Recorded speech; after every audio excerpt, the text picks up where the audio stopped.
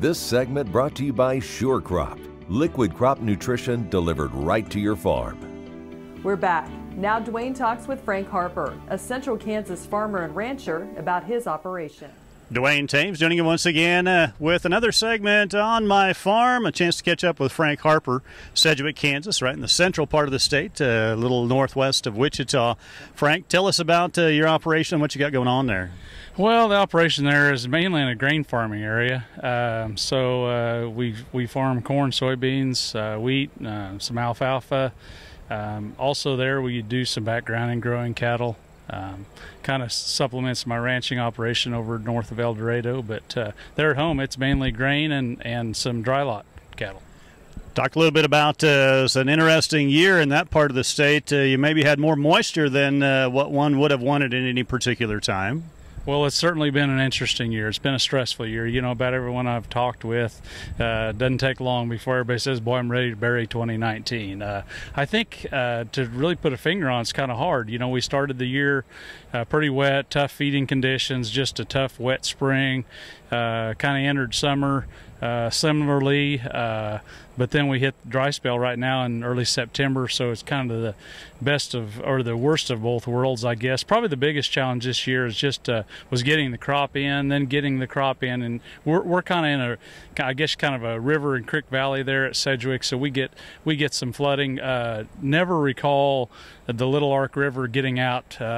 Usually about one time every two or three years, possibly four times this year from October of of uh, 18 through the spring of 19. Just unbelievable. Tough on the guys in the river area obviously uh, with that kind of moisture uh, the expectation was that uh, our fall harvest might be pretty good but uh, it seems like we had some heat maybe at the wrong time on, some of the corn. You know that's a really good good point. Uh, you know we had uh, you know the challenging start to the corn crop got some of our traditionally planted corn in and in first part of April you know and then it just was nothing for for about three or four weeks in there and then some of that crop was replanted. So what we're dealing with now is some below average or average to below average yields. Uh, I think in our area, probably dry land would be ranging in that, you know, mid 70s to maybe 115 to 20.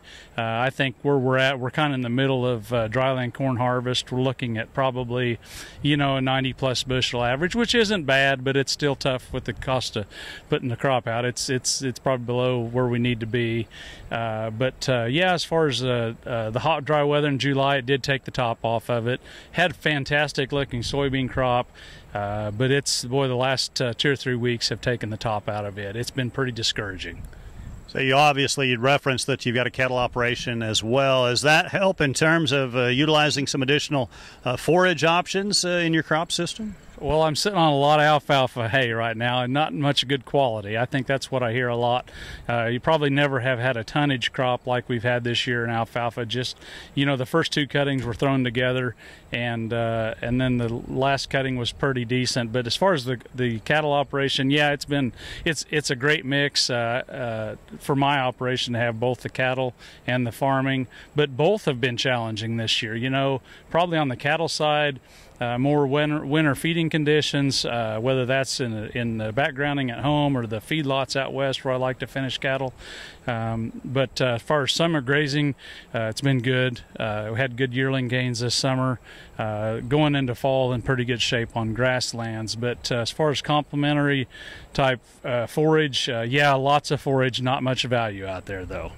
So you referenced uh, feedlots, uh, retained ownership. Are you feeding a fair part of your own cattle, Frank? Um, we try to feed most all of our own home-raised cows off of our cow, uh, calves off of our cow herd. Then I also buy um, both local calves and then calves out of the south. So we we kind of try to tap all of it. We're not much good at any of it, but we try to do it all and see which one works. But yeah, uh, the feedlot sector, the commercial feed feeding sector, has been a part of my operation uh, for a good number of years, and and that involves both our yearlings, our cow calf uh, offspring as well as purchase cattle just throughout the year for margin cattle type income.